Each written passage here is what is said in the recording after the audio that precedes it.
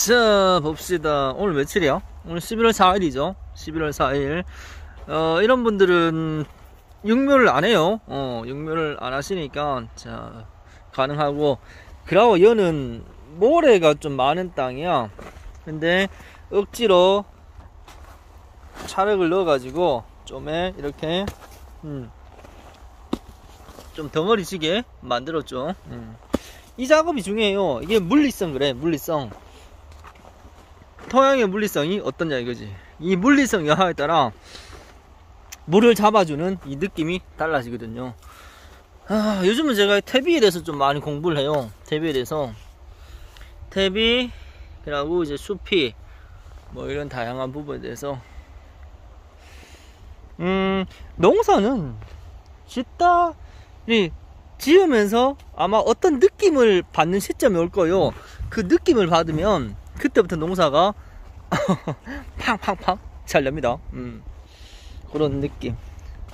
이게 항상 제가 말하는 선이라는 개념이지 선을 마주하고 그 선을 넘으라는 거지. 어때요?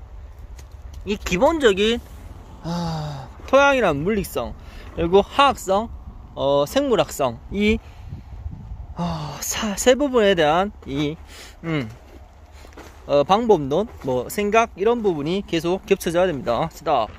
자, 어이구, 내 거 있다. 내 거, 내 거, 제 거죠. 자, 스탑. 하우스와 하우스 사이. 이 사이도 계속 고민을 해야 되고. 음, 어이구, 덩어리 봐라. 아이고, 아이고, 아이고. 와, 이 땅에도 이런 덩어리가 나오네요. 결국은 물을 많이 맞췄다는 거지. 물을. 이 느낌적인 느낌. 늦게까지 계속 물을 댔거든요. 음.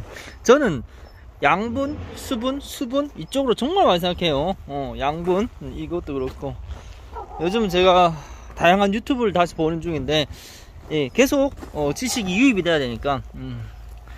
자 참고하세요. 이상입니다. 짜잔 짜잔 봅시다. 한거치 시가 올라왔죠. 음, 오늘은 확실히 온도가 좀 많이 떨어졌어요. 이 뭐야? 아, 참외가 아니겠지? 음.